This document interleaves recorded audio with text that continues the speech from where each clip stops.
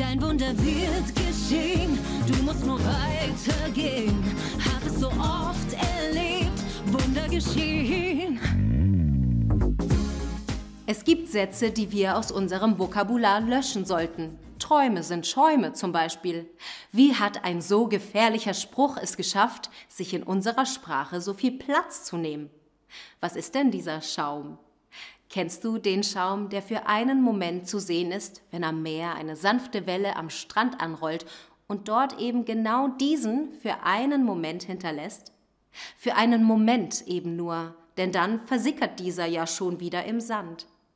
Sprechen wir so über unsere Träume? Träume sind Schäume?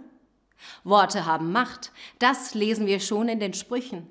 Worte haben Macht, sie können über Leben und Tod entscheiden. Wenn Worte über Leben und Tod entscheiden, entscheiden deine Worte sicher auch über die Zukunft deiner Träume. Wie sprichst du denn über deine Träume? Kann es sein, dass du sogar damit aufgehört hast zu träumen, weil du dich in einer Wüstenzeit deines Lebens befindest? Josef hätte allen Grund gehabt, nicht mehr weiter an seinen Traum zu glauben, Gott hatte ihm sogar durch zwei Träume bestätigt, dass er ihn zu großem gebrauchen würde. Doch komischerweise landete er kurz darauf im Gefängnis. Aus der Traum. Träume sind eben doch Schäume. Oder doch nicht? Genau dort wurde er von anderen gebeten, deren Träume zu deuten. Wäre die Reaktion Sorry, an Träume glaube ich nicht mehr, seht doch, wo sie mich hingeführt haben, ins Gefängnis, nicht viel natürlicher gewesen?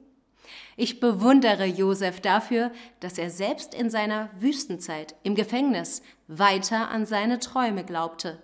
Und nur weil er, während er sicher innerlich selbst zu kämpfen hatte, weiter träumte, erlebte er auch Gottes Treue. Nach dem Traum kommt der Test, doch über allem steht Gottes Treue. Träum weiter, glaube weiter, lass dich nicht verunsichern, sondern sprich Leben in deine Träume, denn Worte haben Macht über Leben, Tod und Träume. Danke für dich. Dein Wunder wird geschehen, du musst nur weitergehen. Hab es so oft erlebt, Wunder geschehen.